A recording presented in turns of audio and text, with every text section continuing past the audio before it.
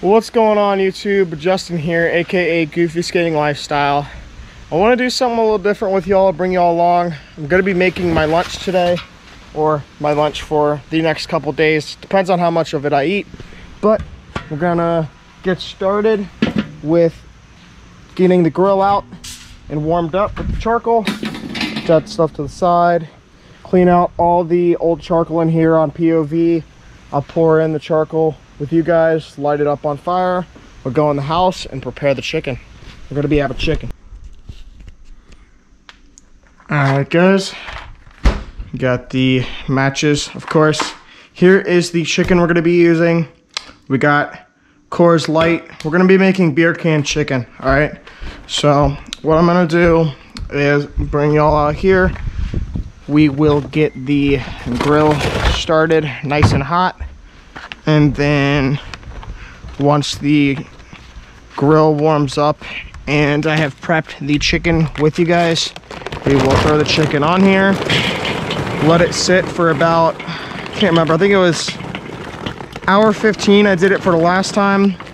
We'll probably do it an hour 15 to an hour 30 so um that's usually what I do depending on the size of the chicken of course me grab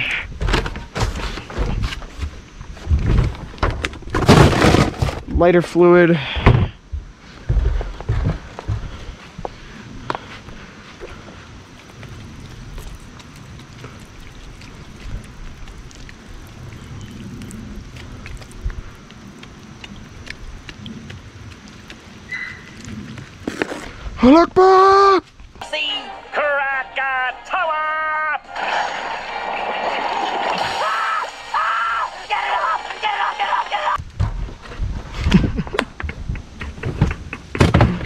Right, and get the matches they're right there.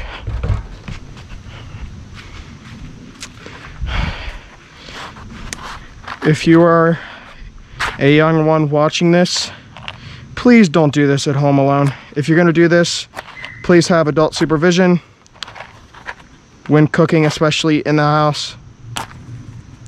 But when you are doing things with fire, know fire safety and understand the risks and have a hose ready. Hose is over there. Not like it's that important right now because I know what I'm doing and I have a fire extinguisher in the house. But just be prepared for anything that could potentially happen because shit happens. But gonna let this warm up now and uh, let's go in the house and prepare the chicken. All right, guys. So for our chicken, let me grab the seasoning we will be using. Let me find it. Uh, we've got a dry rub we're going to be using. It is Grill Sweet Smoky Rub. Just some basic stuff you can get at basically any local Wegmans, Giant, or whatever grocery store you have. Safeway, I don't know. Most places have them. I'm going to take the turkey out of the bag here the best I can on video with you guys. I have to keep the camera in one position because I don't want to get it dirty on the, uh, I don't want to get the GoPro dirty, excuse me, um, since I'm dealing with uh, some raw chicken. So hopefully this goes as planned, as it usually does. Gonna try our best here. I know most of it won't be in the cut, but going to check for giblets, of course. There's gonna be a couple of giblets. There's the turkey neck, or the chicken neck, and giblets all in there. Don't want any of those in there because you wanna put the beer can inside of the chicken. So because of that, I'm make sure all the giblets are out of the inside of it. The best way to do that is just stick your hand in there and grab all the giblets. Of course, if you haven't done this before, I'm gonna grab our chicken. I will clean the cap and everything off of this because I'm dealing with raw chicken. Make sure you wash your hands before you touch this stuff, but it's whatever. So I'm just going to season the heck out of this thing, rub it all around the chicken, and then I will bring you guys to the next step once I wash my hands. Make sure you get it in all the cracks and crevices. You can use any dry rub you would like. I'm just doing this one because I did this one last time and I didn't mind it. It's pretty good, pretty tasty. Load that thing up, load that sucker up. Oh yeah. Get it all in the nooks and crannies of your chicken. Rub it all in there.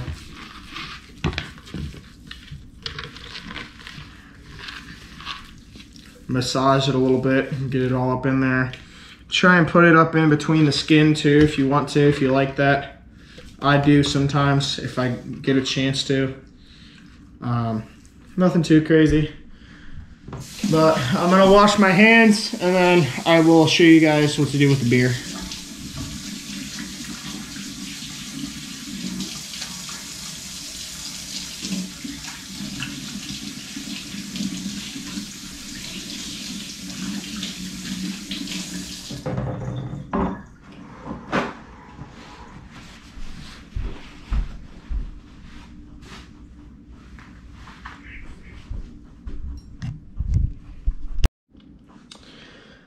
Alrighty, guys. So I do not drink. I'm not a big drinker. I've had a couple beers before. You know, I'm 21, but I don't really like it. I hate the feeling of it. It tastes like piss anyway. I mean, it's different, but we're gonna pour out about half of the can, or maybe just like a third of the can.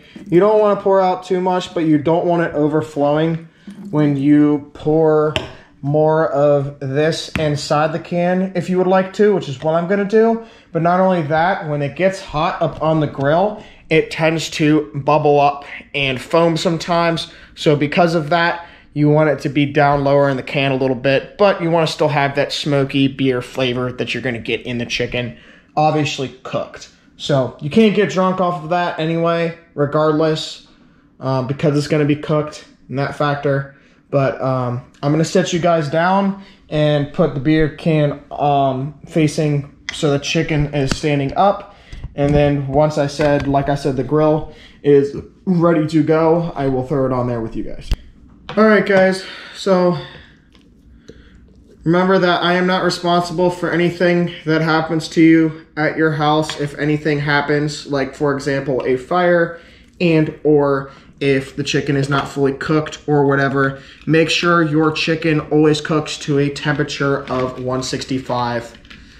Um, we are basically just setting the beer can on top of the chicken, like so. Going to try our best here.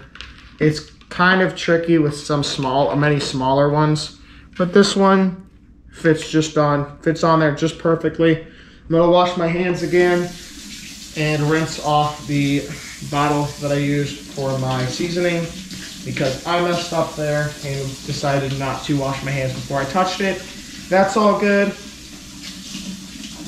It's part of cooking. Things can get messy. You just clean up afterwards. So what I like to do, like I said, is open the can up or like split the chicken up top apart and then pour that seasoning down in there into the beer bottle or beer can, excuse me, and then also rub the rest up on top like this, just so you get a really nice, nice coat and layer of dry rub seasoning on this beast. We are going to put this on there in about 15 minutes or so, maybe a little longer. It depends on how fast the charcoal dissipates. You always want to, with charcoal grills, um, if you have a gas grill, it'll be different, obviously. But with charcoal grills, you want to make sure that your charcoals are a little grayer and the um, the uh, smell of the lighter fluid dissipates, of course, because you do not want to get that lighter fluid into your body. It is, it's nasty. It can make you just as sick as a raw chicken could, or potentially harm you in many other ways. So be careful um, when using charcoal. Always make sure to let it dissipate a little bit and cook off the um, toxins in the charcoal, but not only in the charcoal, also the lighter fluid. So I will see you guys at the grill. All right, guys. So it's already set to go. I'm going to go ahead and set you guys down here. Throw the chicken on and then set a timer. And once the timer is up, I will show you guys the finished product. I will possibly give you guys updates in between that, of course. We'll see how things go. But until then, um, chicken on correctly, drop it.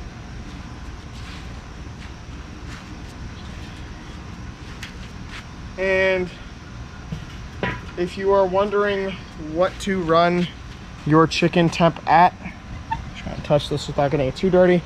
If you want to know what you want your grill to run at, I usually run it at anywhere between 400 and 500 degrees. I know that's really hot, but that's how I like to get the crispy texture of it.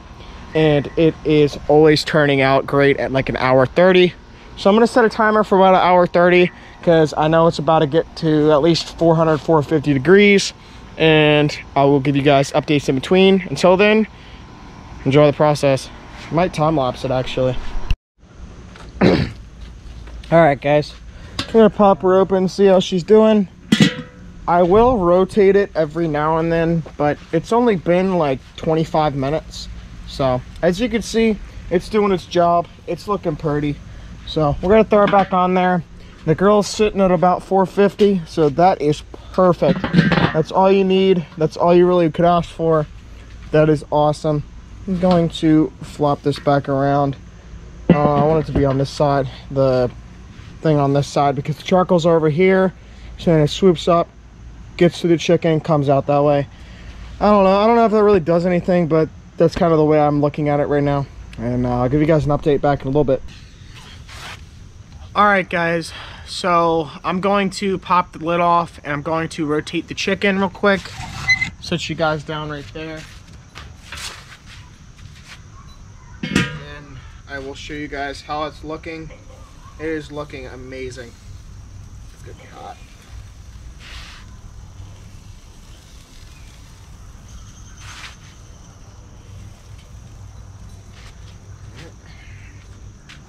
Before I put the lid back on, gonna show you guys how it's looking. Looking absolutely amazing. So I'm gonna turn it to the side like this, so then the charcoal's get over here a little bit. And then in about another half hour, I'll flip it to this part and then do one more rotation. So basically three to four rotations total is what I prefer to do personally. The grill is also getting really hot. Um, so I'm trying to take the lid on and off here and there just to cool it off a little bit. It's getting up to like 550. So I want it to just about 450, 500, and uh, it'll start looking really good.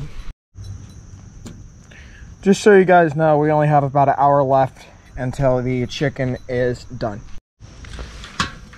All right, guys, I just flipped or rotated it again. Excuse me, not flipped, rotated. It is looking really good. The temperature is just where I want it. So, give you guys another update with the last rotation. All right, guys. So, I'm eating some bread right now, but this is how the chicken is looking. Oh, stepping on that. Anyway, I'm gonna rotate it one last time, and then uh, looks like I'll be ready to eat.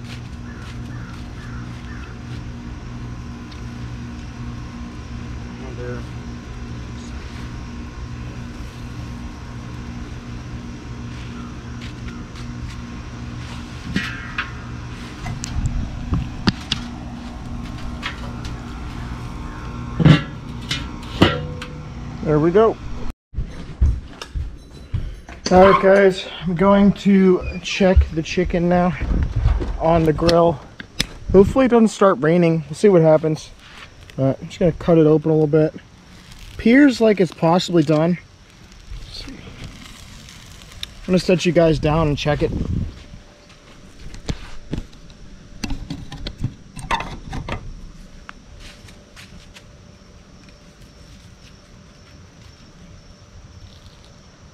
Oh yeah, she's done.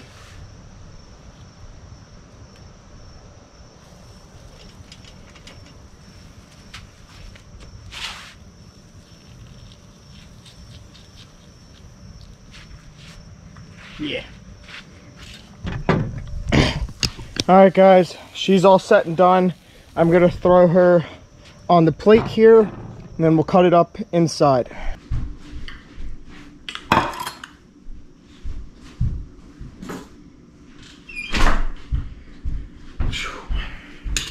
All right, guys. It is in the house. I'm gonna let it rest there for about 10, 15 minutes. Once it's done resting, I will cut it up and I'll take a bite with you guys. Um, potentially, I don't really know if that's really like a really. I don't know. This is my first grilling uh, video, so well, I'm just kind of going along. Don't know what the hell I'm doing, but uh, thought thought it was fun. I think it's fun, and uh, yeah, I'll see you guys when it's time to cut it. So I'm just gonna cut it upright like this because I'm not trying to burn myself on that uh, can. It's a pain in the butt to get out right now, so just gonna stick a fork and the knife in it, start cutting away. She is looking really exciting. Like as in, I'm excited to eat this. Um, might give a piece to my dog too, so he's also excited. Harder to cut, but she's looking tender. Oh yeah, tender. She's looking good, Nubby. Dog's name is Nubby. I'll show you guys him in a second. Give him a piece.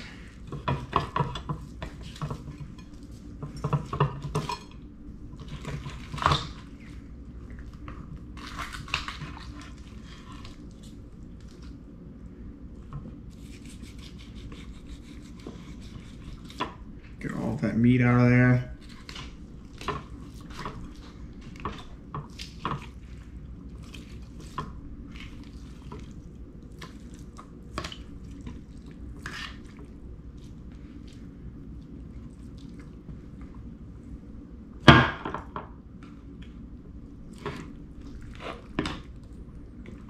There's the can. See if I can push the can out. The can's not coming out. Just gonna have to soak in there. It's whatever.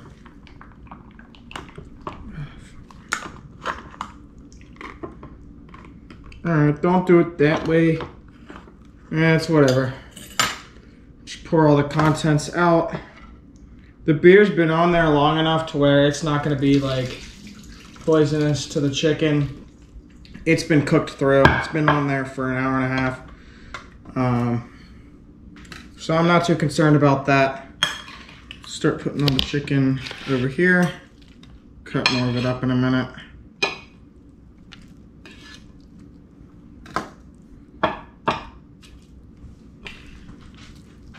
Get this uh, nice juicy breast here. It's looking really tender. Pulls right apart. It's looking phenomenal. Let's try and get the rest of this chicken cut. This is like my least favorite part because I'm ready to eat it. And uh, I don't know, I don't like using knives all that much anymore. Um,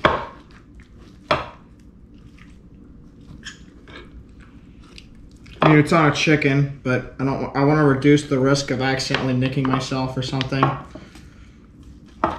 So.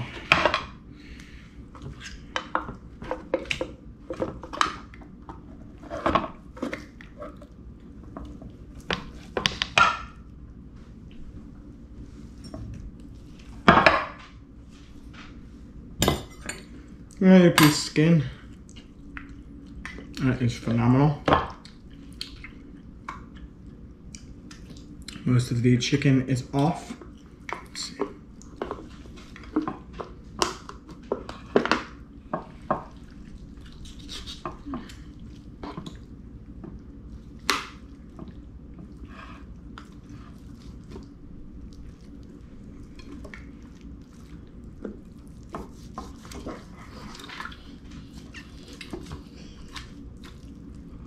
And I think I said this in the beginning, but always make sure your chicken is cooked to a temp of 165 just so you don't get the salmonella poisoning or whatever.